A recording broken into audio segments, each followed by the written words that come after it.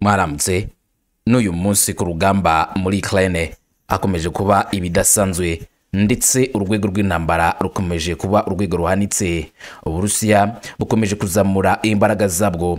Ukraine na yo ikomeje kuzamurirwa imbaraga n'ibuze iburengerazuba ubu tuvugana Anthony Blinken yageze mu gihugu cya Ukraine. Ni ugufasha kino gihugu kureba uburyo batsinda uburusiya. Gushaka intego yo gutsinda uburusiya ni cyo kintu nyamukuru. Cyatumye Blinken ndetse n'umwongereza ukomeye bajya ku butaka bwa Kiev. Uburusiya ariko mu gihe Blinken yari ku butaka bwa Kiev bwakoze ibidasanzwe bwerekana yuko Ukraine yakoze amakosa kandi akosa yakoze ari amakosa akomeye yo gutuma icishwa bugufi. Uti byagenze gute?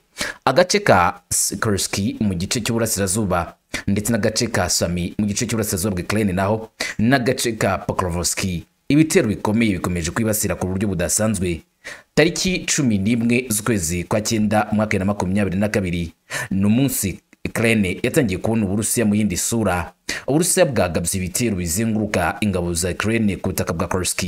Ibitero binini kandi birimo intwaro ziremereye byagutse ni byo byagose Kursk. Putin we yasabye igihugu cye kwihorera ku bihano bafatiwe na leta zunze ubumwe za Amerika. Bati bariya badufatiye ibihano mureke tubihorereho. Uti gute rero. Ni mu gihe Ukraine byarangije kwemezwa ko igiye kujya muri OTAN benshi bati ni byo komeza intambara byongeye ntabwo uburusiya buzihanganira iki cyemezo cy'ibihugu bya OTAN mu minsi ishize uburusiya bwagaragaje impamvu bukomeje kurwana ku butaka bwa Ukraine igitero cy'Ikarski cyatumye uburusiya bukomeza kwemeza yuko ngo Ukraine atari kuganira na yo ari iyo kurasa ndetse yo guha isomo rya gisirikari. Ikindi kandi ni uko uburusiya bwabarangije gufata gahunda yo gufata uburasirazuba bwose bwa Ukraine harimo n'agace kose kose ka Donetsk Donbass yose bakayigarurira. Kandi Crimea ntizabwe kino gihugu cya Ukraine indi nshuro. Nubwo Turukiya yafatwaga nk'inshuti magara y'uburusiya mu bihugu bya OTAN na yo yifuje yuko uburusiya bwatanga Crimea y'abandi. Uburusiya bwo bwavuze ko batakora iryo kosa ahubwo n'ibindi bice bazabyiyomekaho. Maze intambara ikabona kurangira. Ibikorwa bidasanzwe bya gisirikare by'uburusiya bitari byagerwaho. Ibyo kurangira kw'intambara mu byihorere. None byagenze gute Ikarski byagenze gute Blinken ari Kiev bigenze gute ku bihano uburusiya bwafatiwe? Ngo aho ikaze ngo byose tubire hamwe muri aka kanya nk'ibisanzwe.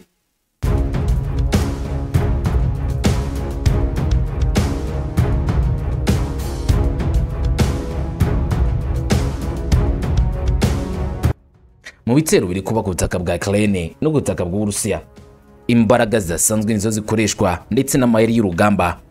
Uburusiya byagaragaye ko bwagabye igitero cya mbere gikomeye cyo kwirukana ingabo za Ukraine mu karere ka Kursk mu Rusiya kuva ukwezi kurenga gutangiye cyangwa se igitero kimaze ukwezi kurenga gitangiye gutaka bw'Uburusiya Ukraine yatangiye ibitero nk'uko amakuru aturuka mu Burusiya bivuga ariko kandi ica mu basirikare b'Uburusiya irakomeza ijyana n'ibikoresho by'abanyamerika ku butaka bw'Uburusiya Kursk gahunda bari bafite ni ugufata agace ka Kursk kose bakajya no ku kigo cya kirimbuzi cya Kursk uzi impamvu? Ngo ko ari ukwishyura Uburusiya nabwo bwafashe Zaporozhia n'uruganda rwa kirimbuzi rwa Zaporozhia. Uburusiya bukaba burigenzura Ukraine na yo yashaka gufata runo ruganda rwa gisirikari nako uruganda rwa kirimbuzi. Rudasanzwe ku butaka bw'Uburusiya kikaba kimwe ku kindi. Maze ku meza y'ibiganiro bakazaganira. Ni inama ngo bagiriwe na CIA ubutasi bwa leta zunze ubumwe za amerika bati mwe nimugende mukore ibishoboka byose. Mutere karuski mugende mwahuranya neza mugere kuri runo ruganda. Maze ibyo bizatuma uburusiya bucisha make kuko ingufu nyinshi z'amashanyarazi uburusiya bukoresha zituruka muri urwo ruganda rwa kirimbuzi. Urwego rushinzwe gukurikirana imbaraga za kirimbuzi ku isi rwagaragaje neza yuko iki kigo cya kirimbuzi cyaba kibasiriwe akaga gahita kagwira mu isi. Bari bafite ubwoba bw'uko uburusiya budashobora kwihanganira ibikorwa bya Ukraine. Kuri uru ruganda rwa kirimbuzi ngo byatuma uburusiya bukoresha imbaraga ziremereye kandi habayeho guturika gukomeye iburayi bwose bahura n'ibyago bikomeye.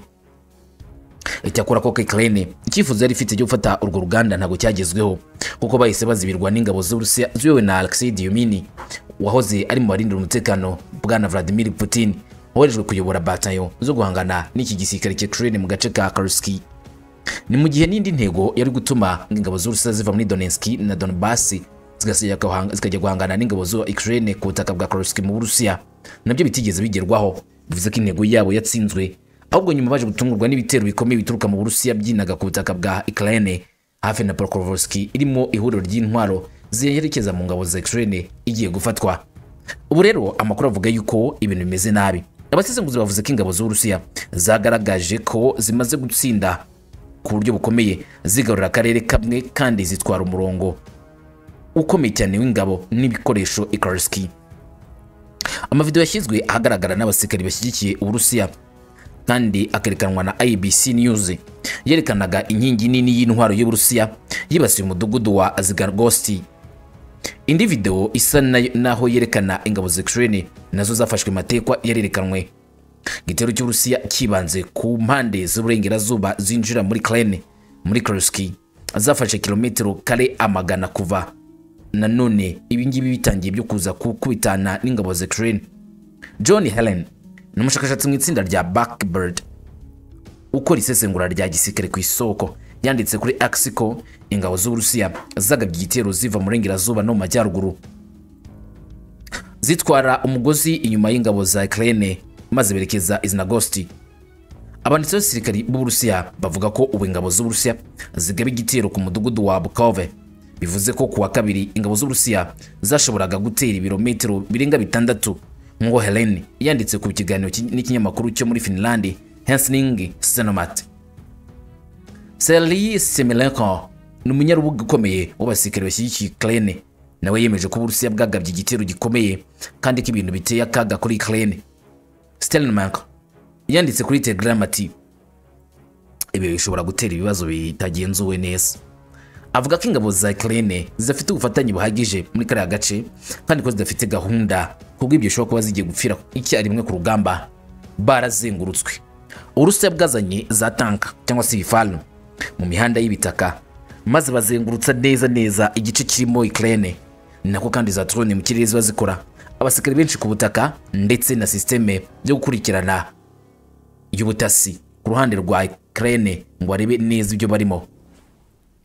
Abasesenguzi ba gisirikari n'abasobanuzi ba Ukraine bavuze ko igitero cy'Uburusiya cyari giteganijwe.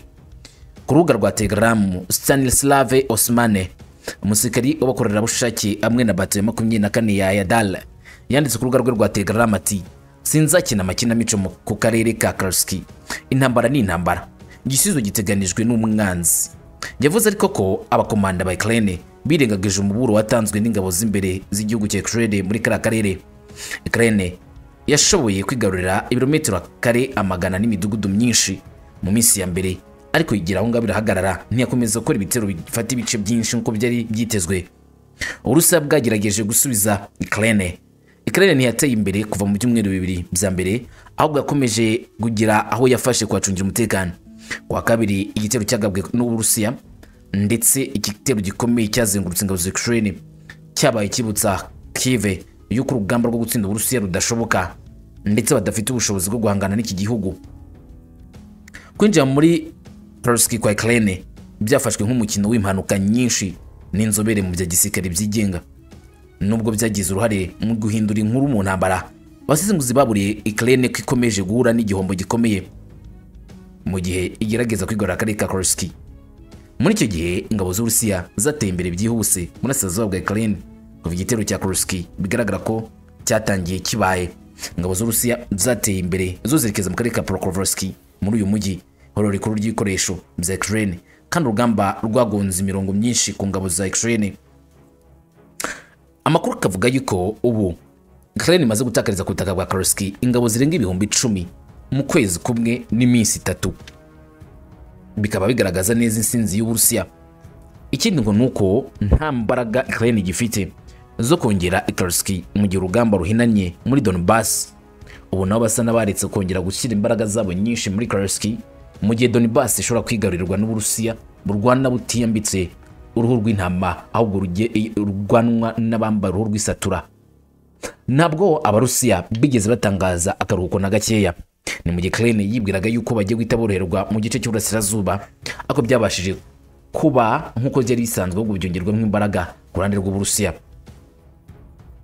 Ibihano byinshi bikomeza gufatirwa uburusiya cyane cyane bashaka guca intege ibikorwa by'uburusiya ndetse n'abakorana n'uburusiya bakomeje kubizira. Ibihugu bigira gutya bigatera inkunga igihugu cy'uburusiya cyangwa se bagafatanya mu bucuruzi. Abo bose bakomeje guhura n'ibihano biturutse kuri leta zunze ubumwe za amerika n'umuryango w'abibumbye bavuga yuko bari gushyigikira intambara. Ariko nabo bashyigikira intambara bafashe Ukraine kandi ntawe bahana. Kubw'ibyo uburusiya nabwo ngo bugomba kwihorera kuri ibi bihano by'abanyamerika ndetse n'abanyaburayi.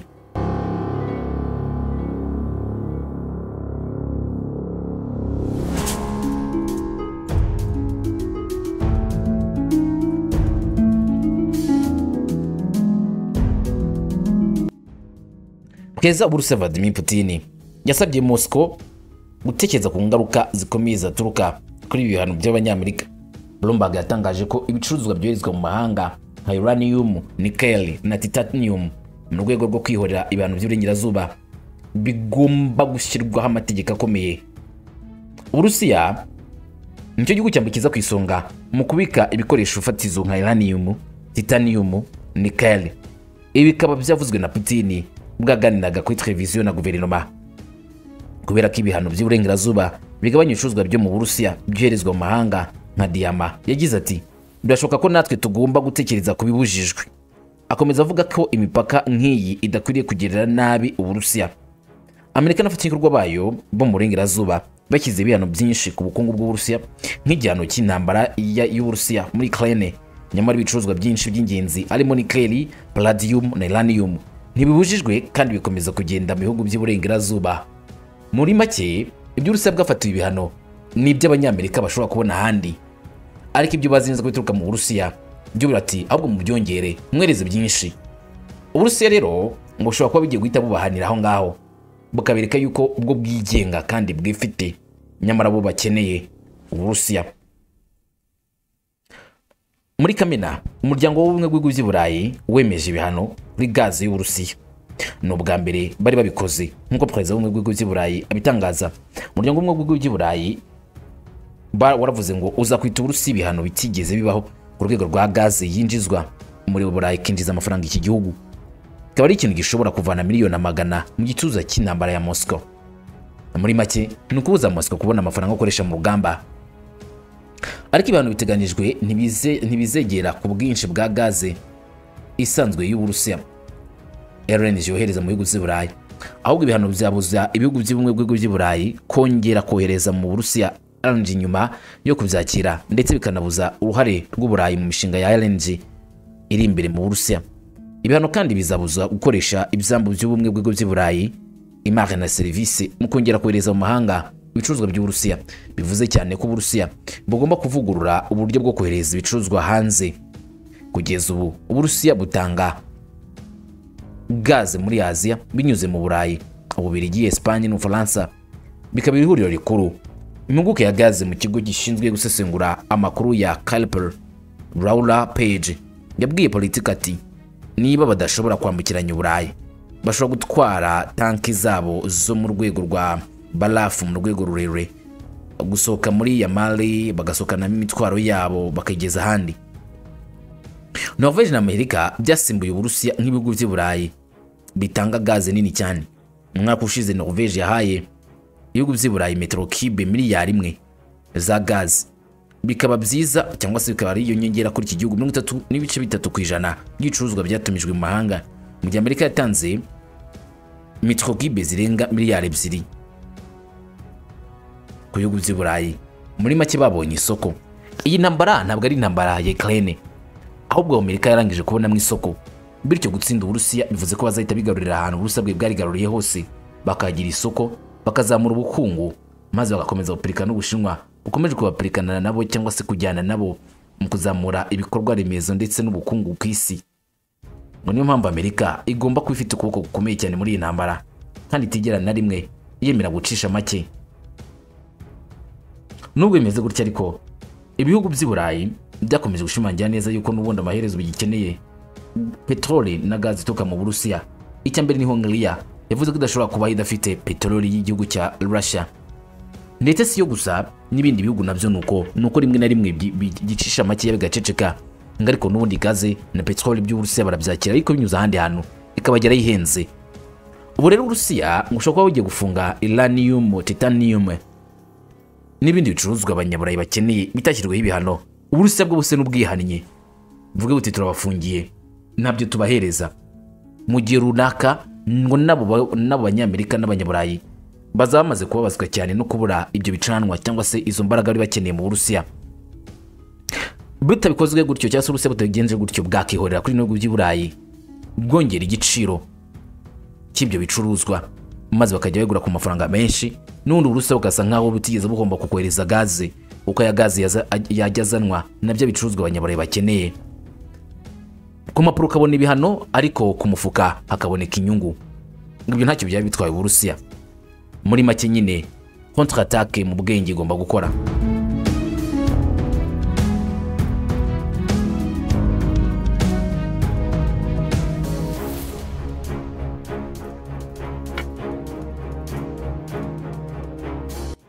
Byasabwe igihe kirekire y'uko leta ya Ukraine yabyemererwa maze ikitwa umunyamuryango w'ibihugu bya NATO ndetse n'ibihugu by'uburayi.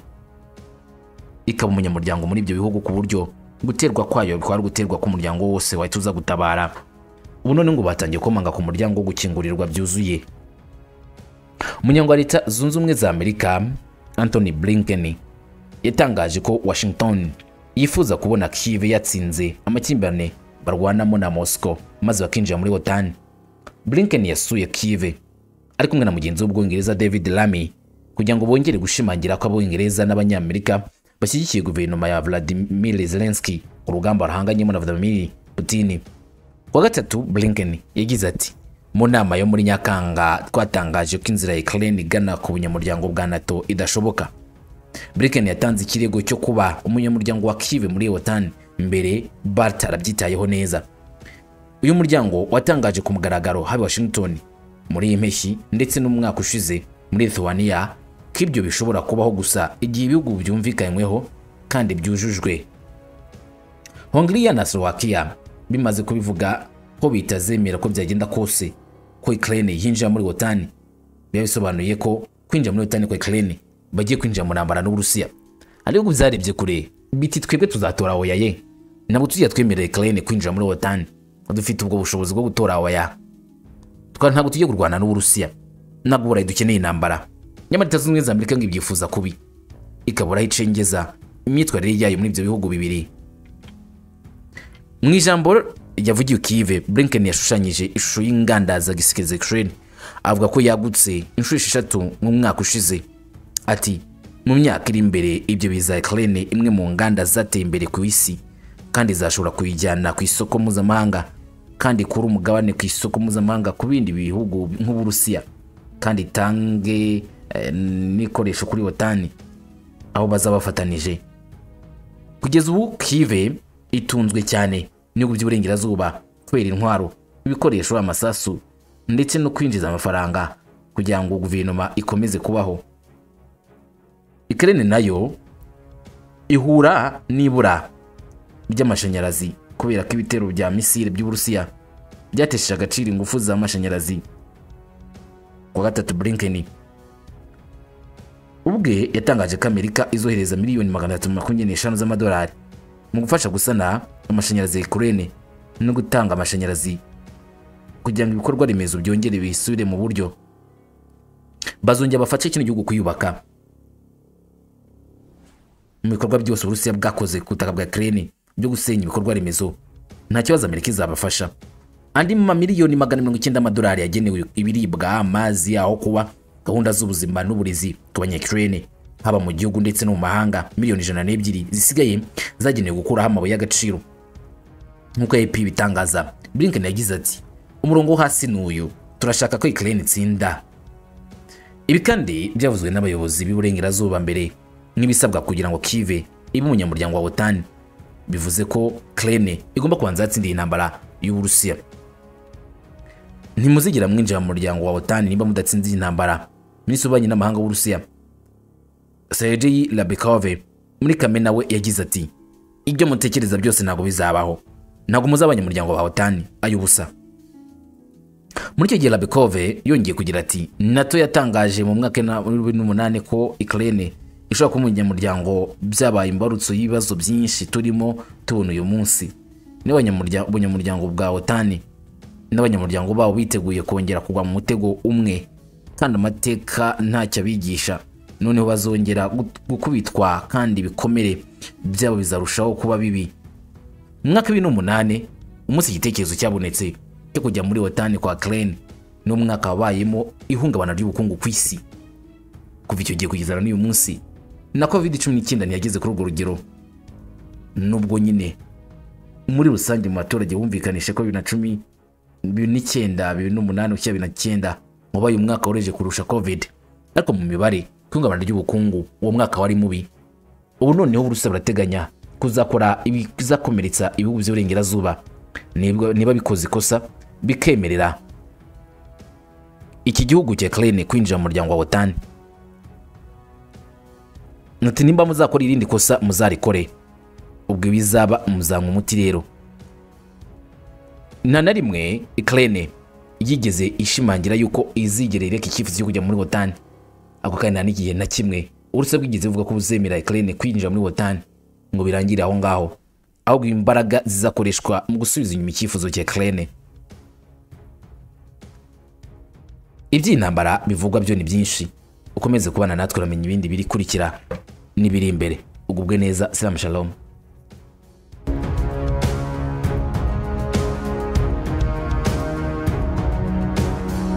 Ibifite na za bomba munsi yazo. Bisa nawe nyine baba biteguye urugamba ko rushoboka bari mu kirere kuko ni indege ishobora guhagarika izindi misile. Zisatira indege ya nyakubahwa perezida Vladimir Putin Sochi. Ibyo byose babikora bategura neza kuba bahangana n'uwari wese. Wabasha guhangara gukubita iki gihangange Putin niba izi ndege za gisirikare ishobora kuzajya mu kirere cya NATO imaze iminsi iri kwesitara ubwirinzi bw'ikirere. Haribazwa niba nta turika ry'ibisasu bishobora kuzavuka hafi ya Putin. Umva paje uko ivuga nato ishobora kuzahangana n'izi ndege mu kirere zizayekeza muri turukiya. Byagaragaye bwa mbere muri middle east. Ubwo burasirazuba bwabonaga indege z'uburusiya. Za gisirikare zigaragiye indege ya putini turukiya ni umufasha wa nato umaze igihe kinini.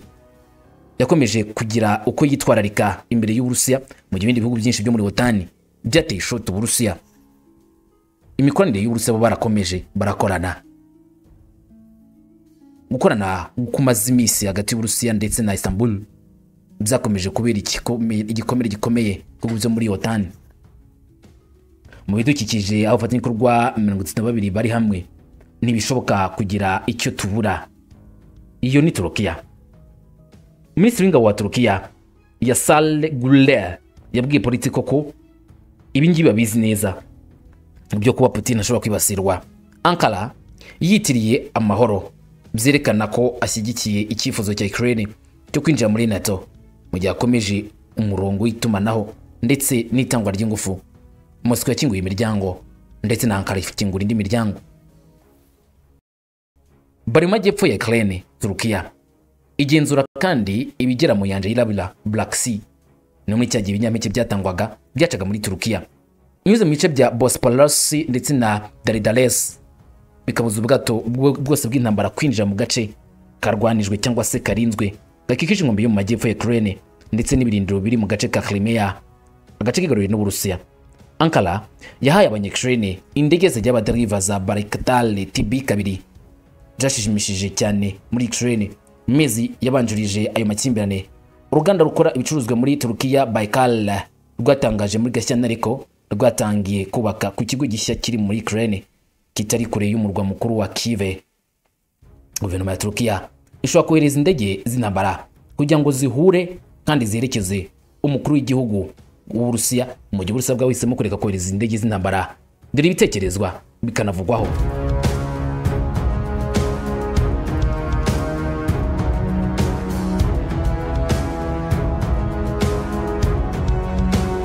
Mu rwego rwo kwirinda amakimbirane yeruye hagati ya otani ndetse n'uburusiya ku bw'izi ndege z'uburusiya zaba ziri mu kirere bizatuma ubwirinzi bwa otani bushaka kurasa muri kuri izi ndege. Turukiya ngo yaba iri gupanga kuzohereza indege zayo ubwayo. Zifite amasensera ari kuri bwa burinzi bwabo kari indege za takri maze akaba zijya guhuza na perezida vladimir putin zikamurinda zikamuragaragira kugeza ashyitse ku butaka bwa ankara. Maze ubundi akaganira na tayyip erdogan yanasoza bakongera kumuherekeza bakamusubiza i moscow. Babigiye umutwe byose ngo babikora. Turukiya ntabwo yigeze igira icyo atangaza muri ubwo buryo nubwo bimeze bityo ariko umwe mu bavuze nk'umusesenguzi wavuze mu bikorwa bya gisirikari ndetse umufatanya hagati ya Moscow na Istanbul cyangwa se Ankara. Yagize ati nubwo bimeze bityo ariko sinshobora kwibuka uruzinduko urwo ari rwo rwose. Abakuru b'ibihugu by'amahanga bifuza kuzana umurwanyi w'igihugu cye. Indege zikaza zimwerekeza nubwo babikoze muri Middle East Turkiya ishobora kuzabimukorera ikamurinda. Undi wahoze ari ambasaderi utaravuzwe izina yabwiye ikinyamakuru ko nta buyobozi buhamye kuri iki cyifuzo. Ku buryo ari agace keza ko gukorera mu ruzinduko. Ntabwo hazwi icyakorwa kugira ngo muri- mu burinzi bwa Putin bube bwizewe. Icyakora indege zirwanira mu kirere za nato. Ishobora kumenya indege z'intambara z'uburusiya no gushyira mu byiciro izo ndege nk'iterabwoba. Umwe mu bantu batamenyekanye mu biganiro yatangarije ikinyamakuru the Reuters ko ankara idashyigikiye guhagarika gahunda y'ubufatanye kugira ngo yemere icyifuzo cy'indege zaherekeza Putin. Uruzinduko ruteganijwe mu ntangiriro z'u- z'ukwakira ariko ikibazo kidakemutse cy'indege z'intambara zo mu burusiya. Byatuma uruzinduko rusa nk'aho rusubitswe. Ankara ifite ubwoba bw'uko uburusiya buramutse buzagiye izi ndege mu gace ka otani na yo ishobora gufatirwa ibihano. Gusa nabo bari kwiga ku buryo bakohereza indege zabo ahubwo zidasanzwe za gisirikari. Akaba ari zo zizajya kuzana putine ntabwo bari bafata umwanzuro w'icyo kibazo. Ariko ngo bazanawufata ikirenze aho rero ni igitero batsinze otani Utikizi- utikiye igitero. Igitero gikomeye batsinze otani ni ukuba otani yaribwiraga ko putin adafite uburenganzira bwo gusohokera mu bihugu bya nato. Amaze iminsi asohokera mu bihugu byo mu burasirazuba birimo vietnam birimo ubushinwa birimo korea ya ruguru birimo ndetse na mongolia. Ni ubwa mbere agiye gukora uruzinduko muri otani kuva intambara yatangira. Ndetse ngo uyu mugabo agasa nk'aho adafite ubwoba bwinshi. Ikibazo kirimo gusabwa ni icy'izo ndege kandi nabwo bashobora kuba babikemuye kare. Turukiya yarangije kwemeza indege izagaragira perezida vladimir putin. Byanashoboka ko izo ndege zaba zitwaye n'abarusiya ubwabo. Nta tegeko ryaba ryishwe aho ngaho. Nako nta n'uwarabukwa byose byakorwa muri silent. All ni silent.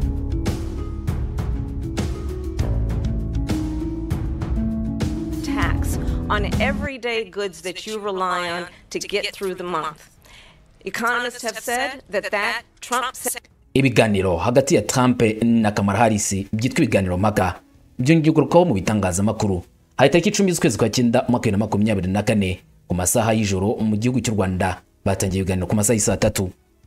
Donald Trump na Kamala Harris binjiye mu cyumba cy'uruganiriro. Ari babiri ndetse n'abanyamakuru babiri. Ahoze perezida wa leta zunze ubumwe za Amerika Donald J. Trump na visi perezida wa leta zunze ubumwe za Amerika Kamala Harris. Umwiraburakazi umugore wa mbere rukumbi. Ugeze kuri uyu mwanya wo kuba visi perezida impaka mu gushakisha intego imwe. Akanya kazafasha gutsinda amatora ateganijwe. Amarushanwa ahurije hamwe ibikomerezwa muri politiki. Abarepublikani n'abademokarate umukandida ku mwanya wa perezida wa republikani donald j. Trump na mukeba we uharanira demokarasi visi perezida kamara harris. Batonganye karahava inshuro nyinshi bavuga cyane cyane ku burusiya mu buyobozi bwa kremlin vladimir putin n'intambara yo muri ukraine. Mu ijoro ryo kuri uyu wa kabiri ushize harris. Yabwiye trump wahoze ari perezida wa amerika ko putin uyu nguyu ari uworoheje cyane imbere ye. Undi ati azakurya ku manywa ya saa sita. Akavuga ko niba abarepublikani baramutse babaye nanone babonye umwanya wo kuyobora igihugu cya leta zunze ubumwe za amerika ngo putin yari kwicara kive muri iki gihe akaba ari ujya kuri iriya ntebe. Yashinje kandi trump ko yiteguye kuva muri ukraine nyuma y'imyaka ibiri n'igice intambara ndetse n'ingufu za gisirikare zikomeje kubera muri kariya gace harris yagize ati sobanukirwa n'impamvu ibihugu by'uburayi n'abafatanyabikorwa bacu ba nato bashimira cyane ko utakiri perezida kandi ko twumva akamaro k'ubufatanye bukomeye bwa gisirikare. Isi itigeze imenyekana cyangwa se itigeze igira utani ntiyari kuba ifite amahoro iyo uri perezida kamara harris. Ukurikije inyandiko y'impaka cyangwa se inyandiko mvugo ivuga kuri izi mpaka harris. Yongeye asongezamo ati ibyo twakoze kugira ngo tubungabunge ubushobozi bwa zelenski n'abanyakirene bahanira ubwigenge bwabo. Bitabaye ibyo putin yaba yicaye kive n'ama- n'amaso ye mu burayi bwose. Guhera kuri polonye mbere yo gusobanurira putin umunyagitugu uriya yaza kurya saa sita. Trump yanze amagambo ya harris maze avuga ko intambara itari gutangira iyo aba ari ku butegetsi muri bibiri na makumyabiri na kabiri. Avuga abwira abari aha ati yari kwicara i moscow kandi ko ntiyari kubura aho yicara ariko ntiyari gutangiza intambara avuga kuri putin. Imibare nyayo y'abahitanwe n'intambara ntiramenyekana. Yaba uburusiya cyangwa se ukraine ntabwo baratangaza amakuru ya nyayo ko bishwe n'intambara. Gusa umwaka ushize abasirikare b'uburusiya bavuga ko bari bageze ku bihumbi magana atatu na cumi n'itanu bamaze kugwa ku rugamba. Trump yashimangiye inshuro nyinshi ko ashobora kugabanya inkunga ya gisirikari yagenewe ukraine kandi kazashaka ko amakimbirane arangira vuba. Abayobozi bo muri kive bahangayikishijwe n'uko iyi politike asobanura yazashyirwa mu bikorwa ko kageze ku butegetsi. Putin yavuze inshuro nyinshi yuko we yifuza Kamala Harris ko atsinda aya matora ndetse bisa naho ngo Putin abona Kamala Harris nk'ari mwiza kuruta bwana Trump. Yego twatsinzwe 1917. twahuye n'ibibazo by'intambara ariko duhura n'ibibazo by'icyorezo ah, kirimo covid cumi n'icyenda. Ntabwo ari cyo cyadushubije inyuma twakoze ibishoboka byose duhangana na cyo kandi twarakirangije tuzana kwambara udupfukamunwa tuzana guhana intera tuzana n'inkingo. Nta muntu n'umwe wari wizeye ko dushobora gukora ibintu nk'ibi ngibi muri kino gihe. Twakoze ibishoboka byose mu isi yose kandi isi yose iratuza.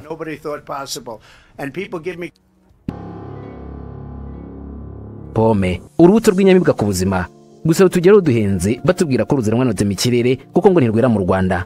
Ariko ye ntuzongere guhendwa ngo urye ubara utinya gushirirwa. Hinga pome mu rwanda ku buso bwose ushaka. Ubu wabona ingemwe za pome y'ubwoko bwose wifuza. Nziza zikuze zitakugora guhinga kandi zibanguriye bituma zera kandi mu gihe gito. Rero umwaka umwe iyi ngiyi rero umwaka umwe. Yego. Ubu yeze kabiri. Mm. humuka ubusitani bwawe uteremo ibiti bizana umwuka mwiza binakuzanira intungamubiri wiriye. Rubyiruko namwe bakuru ubu mwakirigita ifaranga muhinze pome mu rwanda. Ngaho andika izi nomero tugufashe kubona imbuto za pome. Byoroshye cyangwa uduhamagare ushire amatsiko ku buhinzi bwa pome mu rwanda. Nimero ni zeru karindwi icyenda cumi na kabiri mirongo itatu na kane mirongo irindwi gatandatu cyangwa zeru karindwi umunani cumi na gatanu makumyabiri na kane mirongo itanu na gatanu karindwi. Wanatwandikira kuri imeri hinga pome aho baze gmail doti kome hinga pome ube witeganirije kandi ubeho utemba itoto. Kubw'intungamubiri za pome wihingiye. Ushobora guhubuka urabona ifite agashami gatoya. Eh, Eh. mbwira n'izi ngizi. Nazo Ah, niko urazibona hano. Urazibona aha ngaha. Izi ngizi ni red variety ni ruciri yego yego. Eh, ushaka ingemwe rero. Yego.